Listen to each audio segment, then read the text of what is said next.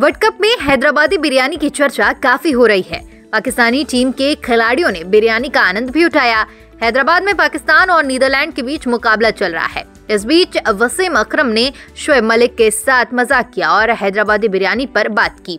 भारतीय tennis star Sania Mirza की शादी शोएब मलिक के साथ हुई है। इस वजह से अकरम ने कहा कि हैदराबाद की बिरयानी के बारे में मलिक को ज़्यादा पता है।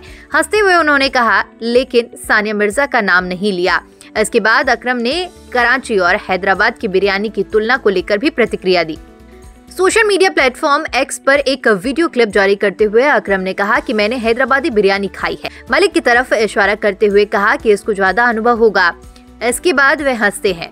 भारत में मेरे दोस्तों, निराश मत होना। मैं सच कह रहा हूँ, कराची की बिरयानी से इसका कोई मुकाबला नहीं है।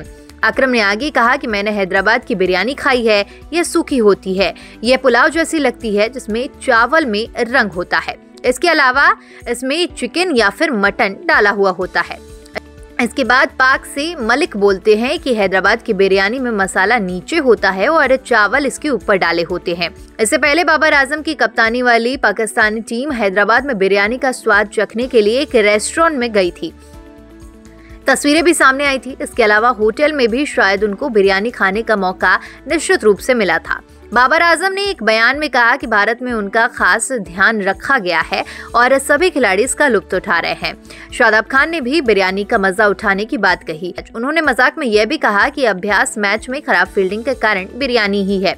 वनडे वर्ल्ड कप 2023 में पाकिस्तान की टीम का पहला मैच नीदरलैंड के साथ हो रहा है और इस मैच में नीदरलैंड ने टॉस जीतकर पहले गेंदबाजी का फैसला किया है।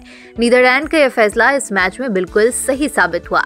हैदराबाद में इस टीम ने पाकिस्तान के खिलाफ बेहतरीन शुरुआत करने में सफलता हासिल की।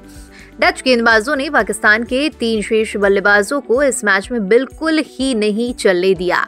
इसमें बाबर आज़म भी शामिल थे। पाकिस्तानी कप्तान बाबर आज़म ने बतौर बल्लेबाज वनडे वर्ल्ड कप 2023 की शुरुआत बेहद खराब तरीके से की और तब आउट हो गए, जब टीम को उनकी सबसे ज़्यादा ज़रूरत थी।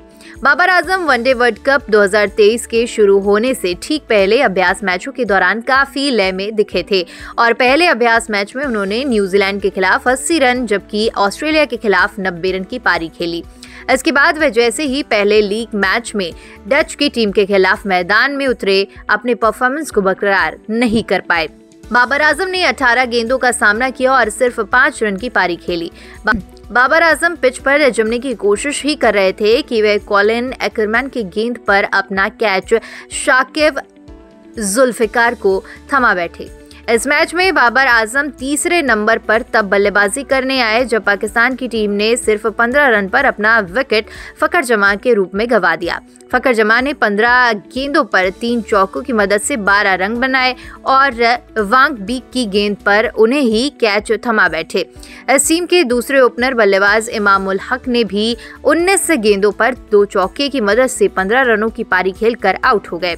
इसके बाद बाबर आज़म पाँच रन पर आउट हो गए और पाकिस्तान ने अपने पहले तीन विकेट, यानी कि इस टीम के तीन शीर्ष बल्लेबाज, सिर्फ़ चौंतीस रन पर ही आउट हो गए।